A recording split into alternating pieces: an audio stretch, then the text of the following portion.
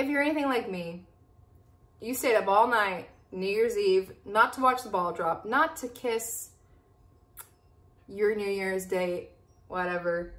It was because you wanted to watch Chilling Adventures of Sabrina, Chapter 4. I've been waiting all year for this. They did us dirty already and said this was going to be the last season, even though they were planning another one, whatever. I don't know. Here we are. The last season of Chilling Adventures of Sabrina. And what did we get?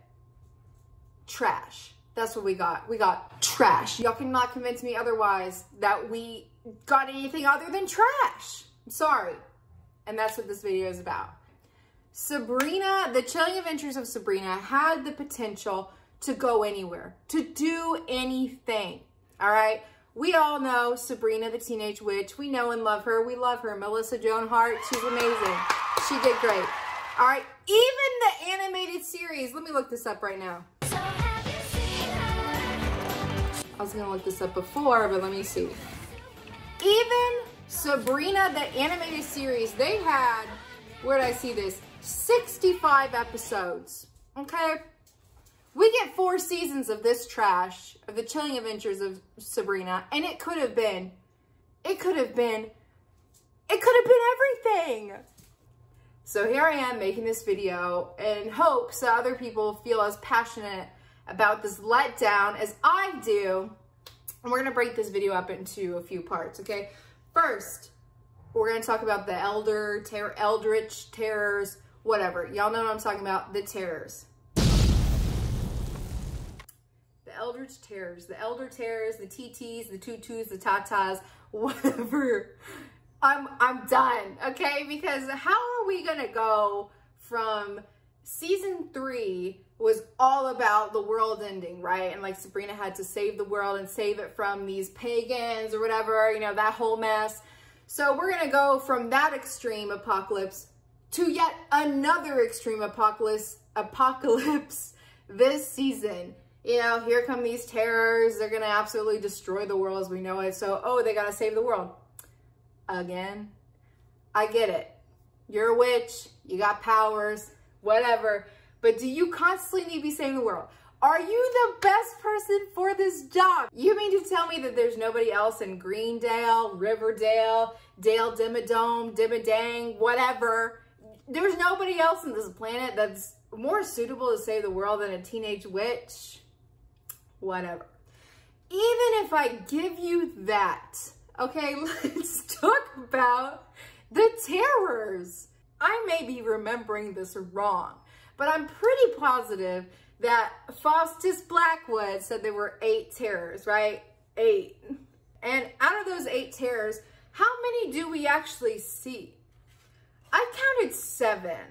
So we start the season talking about, oh, there's there's eight elder terrors. We gotta watch out for eight. There never actually was eight. Can you believe it? Believe you me that there were not. Okay, so I looked up this. So I found this article that's talking about the Eldritch Terrors. Number one being the dark. We saw the dark. Number two being the uninvited. Y'all, can I just say about the uninvited really quick? That actually really broke my heart, and I don't think he deserved that to be stuck and trapped inside that house when they tricked him, and all he wanted was love. That was all. All he wanted was love. Anyways, number three, the weird. We all know the weird, whatever. That was a weird, weird episode. Number four, the perverse. Number five was the cosmic, supposedly. The cosmic. Keep that in mind. Number six was the returned. We saw the returned, whatever. The endless and the void. I may be wrong thinking that we didn't see all eight of them, but I can recall they said that the Eldritch Terrors are leading up to the void.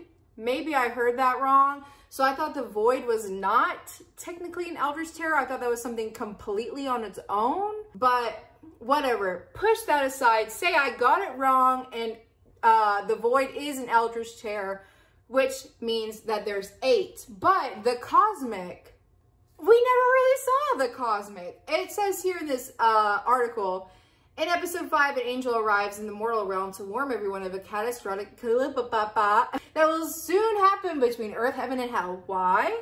It's because there are now two Sabrinas, and it's causing too much chaos. Okay, so we're going to say that's an Eldritch Terror, because I'm pretty sure there were two Sabrinas before Faustus well, I don't know why I choose to say his first name, before Blackwood got involved. So uh, is it, should we say that Sabrina caused her own Eldritch Terror that was not summoned by Blackwood?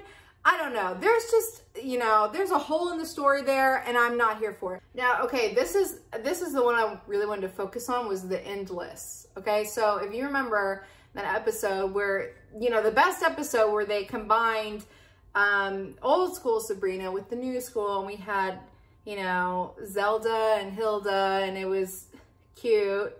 But in that, okay, so Salem, the animated cat, is supposed to be the Endless. So again, aren't the um, Eldritch Terrors supposed to be like all powerful beings, like so freaking powerful, whatever. So, you know, that she has that chit chat with the endless Salem and is like, yo, you know, if we stay here, we're going to get scooped up by the void. And he's like, okay, well, we got to get out here. So they're running out there and they go through that mirror, right? And he's dead. Again, all powerful being, they go through a mirror. And even like, I get it, they're teleporting through a mirror. Cool. Even if they go to the other side and get scratched up with glass, isn't he still a huge cosmic being? Like, don't you think a little bit of glass isn't going to hurt anybody? And they never mention it again. It doesn't, it doesn't stand out, y'all. They, they talk, if you really listen to the dialogue and what they say about the terrors and what's actually done, it just doesn't match up, okay? Doesn't. It's not very good storytelling if you ask me. Let's move on to Categorito. We're just going to talk about the fact that like I said, the entire series is supposed to be um, done within a year. Excuse me? Excuse me? Everything that happened, you know, the the dark baptism, you know, the fallout with Satan. They became the church of Hecate or whatever. They had the whole pagan situation where nearly everybody died. Well, actually, everybody did die. And then somehow they reversed time. What else happened? There was so much that happened. Oh, Nick! Nick becoming whatever, a flesh Acheron. Oh no, I'm possessed. Okay. so we're led to believe um, on the last episode of this series, when they're celebrating Sabrina's birthday, she's turning 17. How long have you been 17? So you mean to tell me that it's only been a year for her to go through all that? And if that's true, then when was summer break? They were in school the whole time during the series. Did they ever have a break? Not that I know of.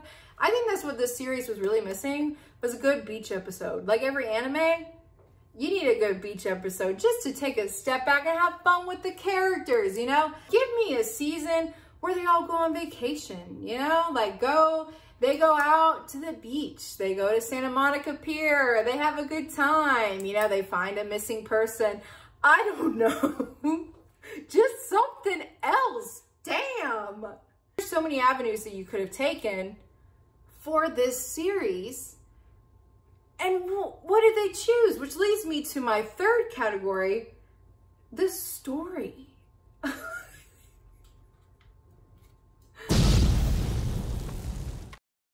don't know what to say here. I'm not, I don't write TV shows. I'm not a producer or whatever. I'm a fan. And I know that this fan was heavily disappointed in what happened in this show. In the like first episode, they're talking about Hecate and they're like, oh, we're to do a like festival or something and who represents what. And so she's like, I'm to be the crone. And then Hilda's to be the whatever, uh, the mother. And then, you know, they're like choosing who's to be the maiden. Like Sabrina's obviously excited and they're like, mm, Prudence. And then Sabrina gets sad. But never again was that mentioned. Wasn't mentioned again. Was there ever a festival? Did they ever do anything or whatever? No. You know what they did instead?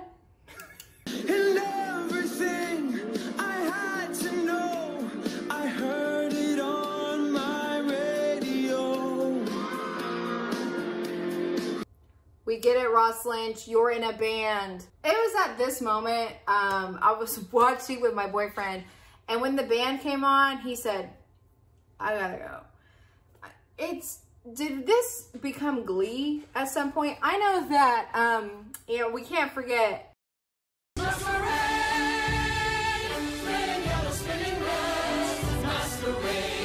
We can't, we can't forget season two, um, when they did a, when they did that. And I should have known at that moment that this show was going downhill, but I was still too far in. I really loved it. So I was like, I'm to see how this goes. But this season, it became Glee, though. There was, you know, a lot of singing. For what? Again, of all the things you could focus on in this show, you're to focus on all these absolute apocalyptic terrors, and you're to focus on the band. They could have explored um, when Sabrina's dad comes back to life and she's like, oh my God, my dad, you know, again, that was another story that was just dropped like in season one. They were, or even season two, they're like, oh no, what happened? The mystery behind the Spellman's like airplane crash. Did they ever solve it? I could be wrong. Maybe they did, but I don't remember that at all yeah, you know, they can't, eh, they're just going in and out the entire series between, you know, what, what, what, what, what. Ooh. Well, Roz and Harvey making out leads me to my fourth category, Harvey and Sabrina. I don't care what you say. Harvey and Sabrina were meant to be together. Roz dating Harvey. They're dating in real life, which is cute. That's great. Good for you guys. But on my show, you're supposed to be with a Sabrina. Look how cute she is. She's just adorable. How can you not be with her? And yeah, she was a witch. But we find out in this episode that Roz is a witch too. And Harvey's like, mm, okay. Typical man right there. Am I right, ladies? As a Sabrina fan, this was the biggest slap in the face to us, all right? I know, you know, I may be old. I may be old. That's all. I I know that there's probably younger fans that watch this that didn't grow up with the Sabrina that like I did. Um, and that's great, but you need to start them off right and let them know that Harvey and Sabrina are in fact in game. And the fact that Nick even said that was strange. I don't know why that's a thing in TV shows now. I feel like I've heard that been said before. Oh, we're end game if someone told me, someone I was dating told me, oh, we're in game, I would say nothing. And I would walk out the door because I think that's really weird. So again, let me remind you that I said this whole thing happens within a year.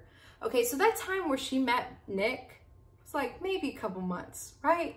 They were dating for maybe a couple months, we'll say. Then he got trapped by Satan. Then they go and rescue him that probably took another month, maybe. I don't know. Well, even if I give her the benefit of the doubt and say they were dating for six months, and then he gets trapped, whatever, they get him out. When they got him out, he was not a nice dude. Uh-uh-uh. He was not nice. He was horrible to her. And that was the whole thing about season three, right? They were like, oh, Nick is eh. like, he's not the one for me. And then there was all that thing with Harvey in season three that was giving me life. It was giving me hope. You must not truly love her.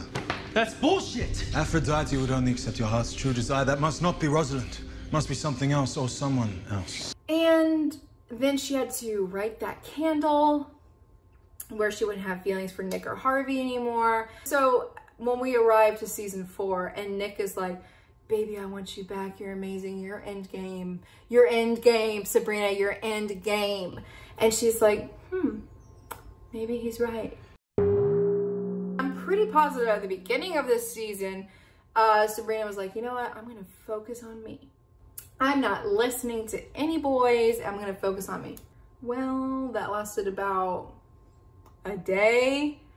I do, however, fully support Queen of Hell Sabrina uh, Marion Caliban. Cute. I love it. Fantastic. But Nick, why did they do that? Why in season three did they lead you to believe that, you know, she was still having feelings for Harvey, which she should? Because she is Sabrina Spellman and he is Harvey Kinkle. They go together.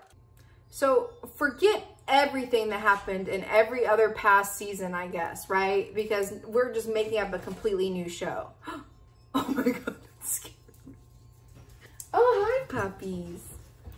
Nick is not her boyfriend. Harvey Kinkle is her husband. So, as I've been talking, I've realized that there is another category that is bigger than Harvey and Sabrina. And it is the fact that they killed her. So you mean to tell me that everything that she's gone on in her entire life, she's died, everybody around her has died and come back to life with many magical ways. I'm pretty sure she died at one point. At one point, wasn't she like possessed? I offer you a chance to survive the night.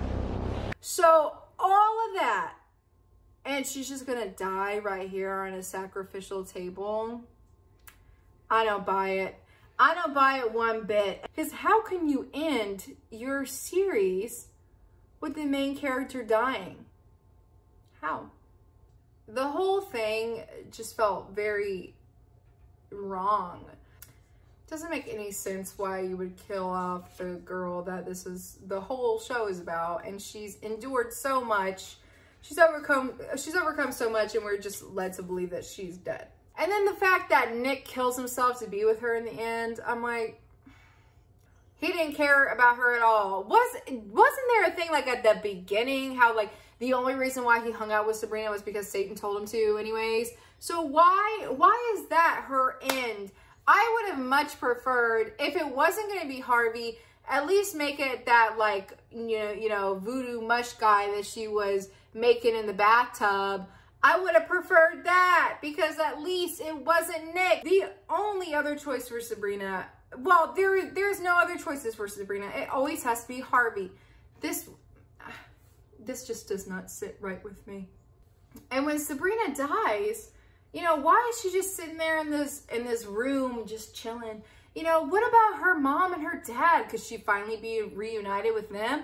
You know, other people have died in this year. What about Dorcas? Dorcas didn't come down and say, hey, you know, and if in true Sabrina fashion, I feel like she would have been finding a way out of it. You know what I mean? Like, we're just supposed to accept that she's dead and she's cool with it. Because now her and Nick are up in, not heaven, because God doesn't exist in this series, I guess. They're up in whatever, and they're just chilling. And they're just going to be chilling forever. Oh, in game. Eh. Stupid. I really think I've recorded way too much because I'm just mad, you guys. Please, please, please comment below. Tell me what made you mad, what upset you. Let's talk it out.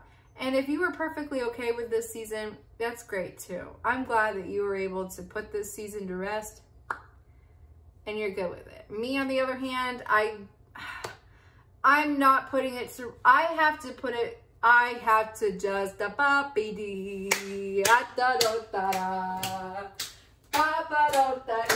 I'll tell you what I gotta do. I gotta turn off this freaking camera because I'm sitting here and I'm going insane. All I've been doing for the past like 48 hours is thinking and talking about Sabrina and watching it and whatever. So I'm gonna go play with my, my dog. Here's one of them. And see you next time. XOXO Gossip Girl. Thanks for watching. Again, let me know. Let me know. Just call me.